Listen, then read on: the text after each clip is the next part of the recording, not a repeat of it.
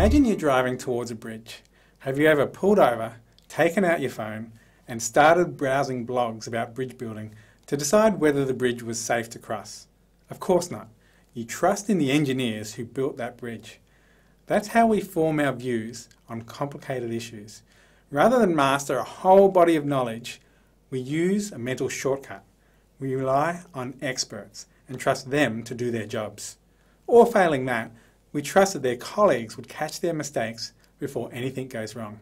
Now, in a perfect world, everyone would be aware of all the lines of evidence for human caused global warming. We would know all the human fingerprints that are being observed across our climate. But life is busy.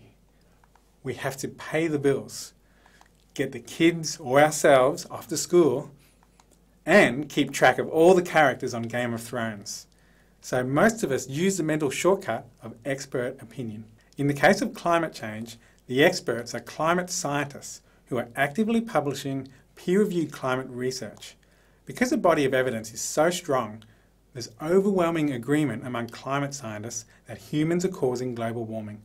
How do we know the level of agreement?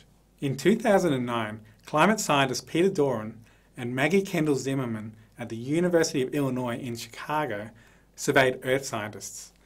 The survey asked the scientists if humans are significantly changing global temperature. When the survey results came back, they found that not every group shared the same opinion. Different groups had different levels of agreement about climate change. For example, the group of scientists with the lowest agreement that humans were causing global warming were economic geologists at 47%. The next highest were meteorologists at 64%, However, what they found was that the higher the level of expertise in climate science, the stronger the agreement about human-caused global warming. For the most qualified group, climate scientists actively publishing climate research, there was 97.4% agreement that humans were significantly changing global temperature. A year later in 2010, another study took a completely different approach to estimating the level of consensus. William Anderegg at Princeton University and his colleagues collected a number of public statements from scientists about human-caused global warming, including as many dissenting statements as they could find. Then they narrowed their focus to only the scientists who had published climate research in scientific journals. They found the same result as Doran did the previous year. Among publishing climate scientists, there was 97 to 98% agreement that humans are causing global warming.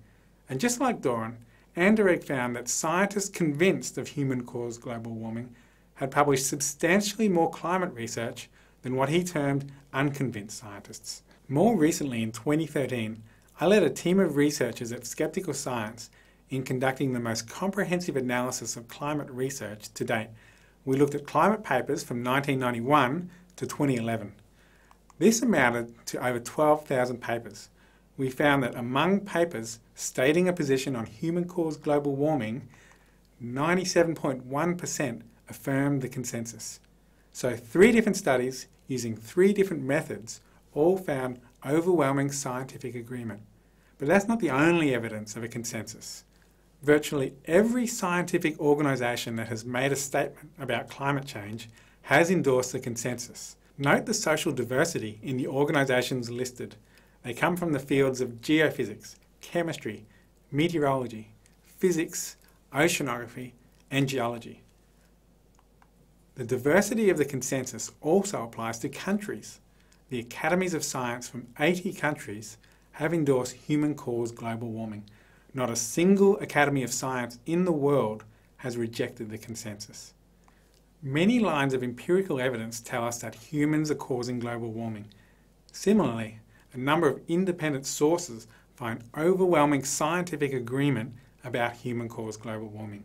We see it in surveys of scientists, in analyses of published research, and in the diversity of scientific organisations all over the world. There is one myth about climate change which argues that there's no scientific consensus because 31,000 scientists have signed a petition rejecting the consensus position.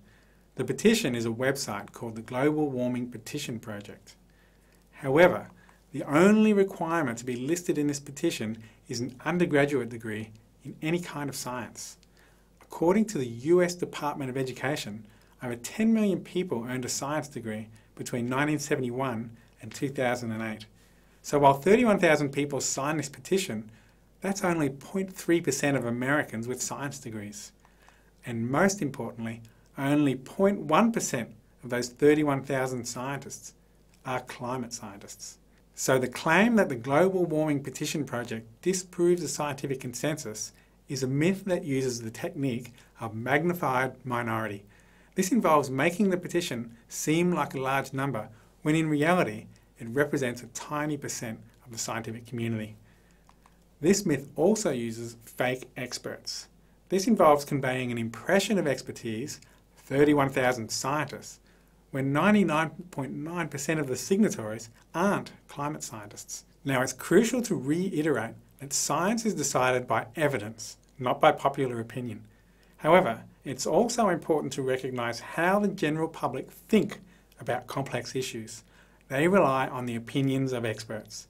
So we need to be aware when fake experts are being used to confuse people about the level of agreement among real experts.